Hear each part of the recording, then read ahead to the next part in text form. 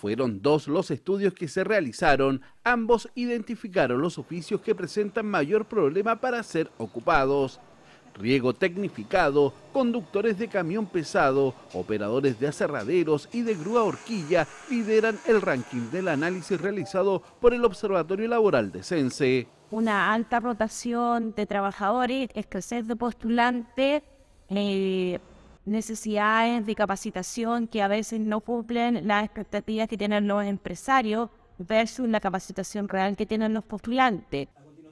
Algo similar hizo la Cámara Chilena de la Construcción, a cargo de la Universidad de Chile, identificó los oficios de ese rubro que tienen mayor demanda de trabajadores capacitados, carpintero, albañil y pintor.